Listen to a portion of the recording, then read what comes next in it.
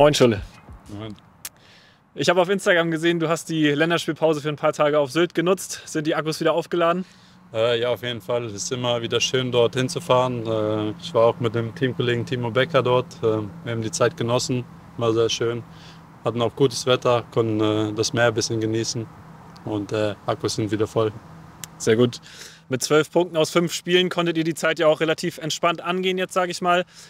Unterscheidet sich so eine Länderspielpause eigentlich sehr, ob man jetzt vorher mit einem Sieg oder einer Niederlage da reingestartet ist? Ja, auf jeden Fall. Ähm, mit dem Sieg ist die Woche immer schöner äh, als mit einer Niederlage. Und ähm, ja, mit zwölf Punkten im Gepäck fühlt sich äh, die Länderspielpause nur doppelt besser an. Du hast ja während der Länderspielpause auch bei Finn Bartels Abschiedsspiel mitgewirkt. Auf einmal hattest du da ein Torwarttrikot an. Wie kam das zustande? Äh, ja, ich bin schon früher als Kind immer gerne ins Tor gegangen. Oliver Kahn war da so mein Vorbild. Und äh, ich habe tatsächlich, glaube ich, in der U17 oder U19 auch ein Spiel als Torwart gemacht, weil beide Torhüter rot bekommen haben. Habe sogar einen Elfmeter gehalten, 1-0 gewonnen. Und das war eine schöne Erfahrung. Ein anderer Kollege von dir, ein Abwehrkollege, Colin Kleine-Bekel, hat die Länderspielpause ein bisschen anders genutzt, war mit der U21 unterwegs. Hast du das verfolgt? Ähm, ich habe mal ein bisschen abgeschaltet, habe nicht so viel verfolgt vom Fußball, äh, aber ich habe mitbekommen, dass er ein Tor geschossen hat und dass sie gewonnen haben und äh, gratuliere ihm natürlich dazu.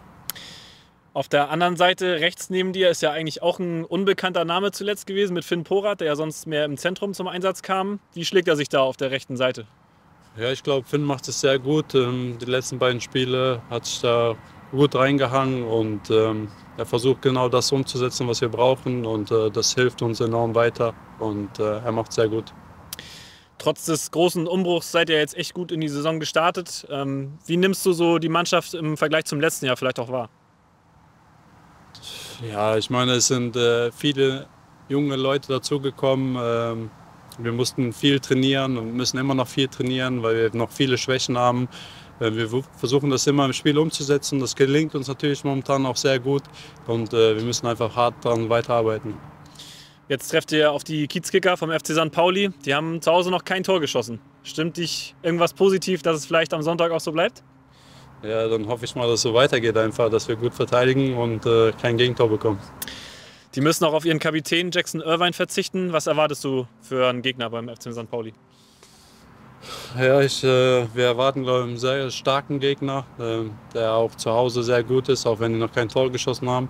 Und ähm, eine sehr gute Mannschaft, ähm, auch noch kein Spiel verloren. Und äh, wir wollen die erste Mannschaft sein, die dort gewinnt. Wenn ich richtig recherchiert habe, hast du schon zweimal im Millantor-Stadion gespielt. Einmal mit unseren Störchen, einmal mit Borussia Mönchengladbach im DFB-Pokal. Du hast auch noch nie verloren da. Bleibt das am Wochenende so? Das bleibt so. Dann hoffen wir das und drücken wir die Daumen. Danke vielmals.